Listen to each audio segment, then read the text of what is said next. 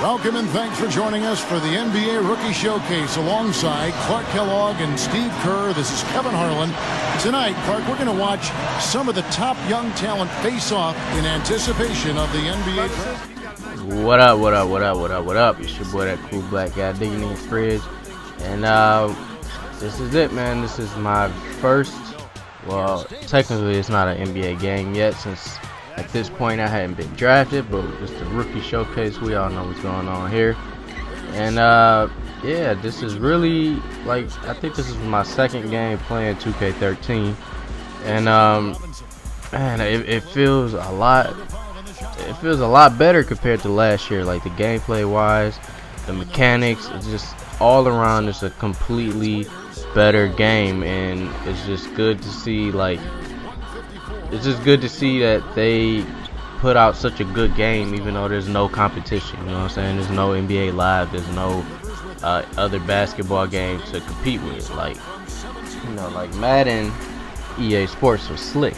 You know, they got rid of the competition, buying out the buying out the NFL. So it's like, you know, they can put out whatever trash. But if you really want to play a football game, you gotta pay. You got you gotta buy whatever they put out. But um, I mean that's that was that's kind of the same case with basketball because there's no NBA Live, but I think the reason there's no NBA Live is because 2K is so good. Nobody's gonna buy whatever garbage they put out for NBA Live. But anyways, that's a whole nother subject. So um I think we're the elites and the other I think they're the stars or whatever, but man, Anthony Davis, dog, this dude I don't know. I wonder how he's gonna do his rookie season, but man, in this game, this dude is a beast. Uh, as soon as anything, if you get a ball to him in the paint anywhere, he he dunking it. It's easy assist for me, and that's why I got most of my assists. I had, I ended up with like 17 in this game, uh, which that's pretty good. Pretty good way to start off. Um, and the dude, man, he he puts he he makes everything, and then Drummond right there, he he put he finishes a lot too, and he has like a terrible rating, which is something like 58 or 59 or something. But Drummond, man, he could finish, and I'm shocked. Like I thought he was like rated like 70 something with the way, like the way that he be finishing. So I'm, I'm looking at his rating. It's it's terrible, but he could finish though. So right here, Davis, go ahead, give me the outlet pass, and um, I'm out here dunking on people already, and I think my dunk rating is only like 50 something right now. And uh, like, man, I think the ratings.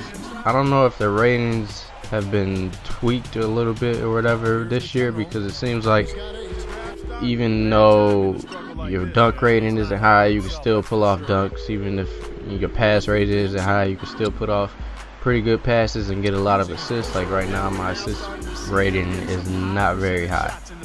Uh, but it's all good though. Or maybe that's just because, you know, it's, it's early. They didn't want us out here turning over and missing everything.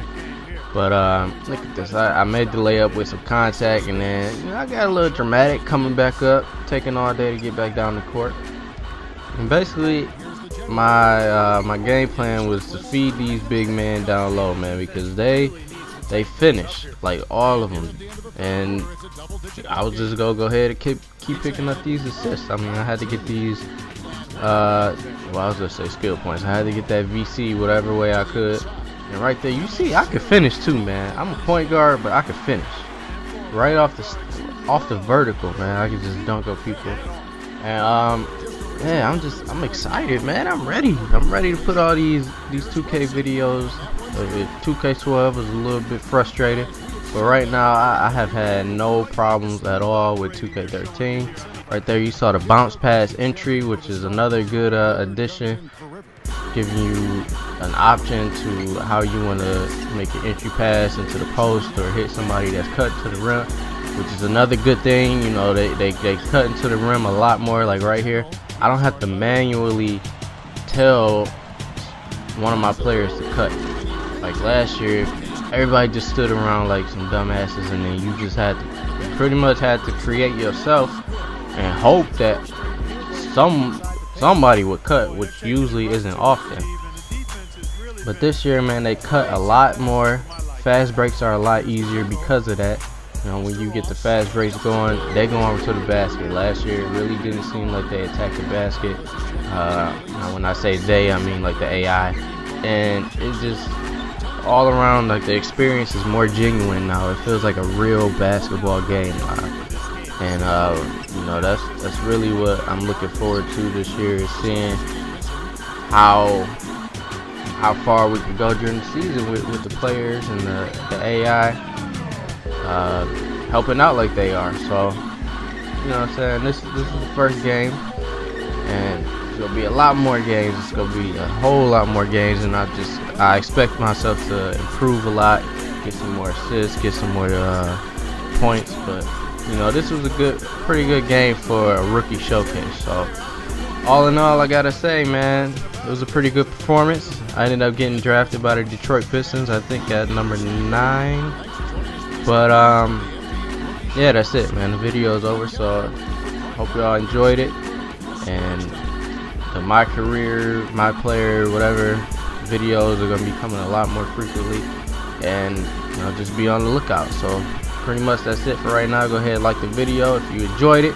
If you didn't, like it anyways. Fuck it. So I'll highlight y'all in the next one, man. Peace out.